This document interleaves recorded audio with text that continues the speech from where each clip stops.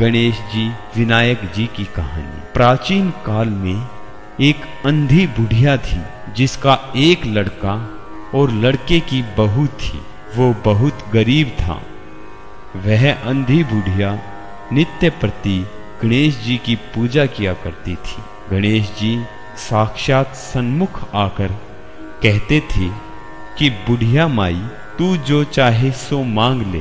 बुढ़िया कहती मुझे मांगना नहीं आता, सो कैसे और क्या मांगू? तब गणेश जी बोले कि अपने बहू बेटे से पूछ कर मांग ले। तब बुढ़िया ने अपने पुत्र और वधु से पूछा। तो बेटा बोला कि धन मांग ले। और बहू ने कहा कि माँ, पोता मांग ले। तब बुढ़िया ने सोचा कि बेटा बहू तो अपने अपने मतलब की बातें कर रहे हैं। अतः उस बुढ़िया ने पड़ोसियों से पूछा। तो पड़ोसियों ने कहा कि, बुढ़िया, तेरी थोड़ी सी ज़िंदगी है। क्यों मांगे धन और क्यों मांगे पोता? तू तो केवल अपने नेत्र मांग ले, जिससे तेरी शेष ज़िंदगी सुख से व्यतीत हो जाए।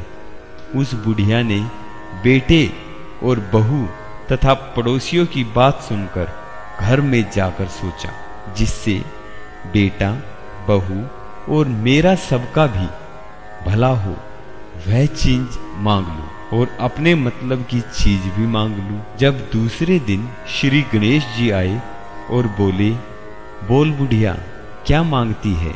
हमारा वचन है, जो तू मांगेगी, सो ही पाएगी। गणेश जी के वचन सुनकर बुढ़िया बोली, हे गणराज, यदि आप मुझ पर प्रसन्न हैं तो मुझे नौ करोड़ की माया दे, निरोगी काया दे, अमर सुहाग दे, आँखों में प्रकाश दे, नाती पोता दे और समस्त परिवार को सुख दे और अंत में मोक्ष दे।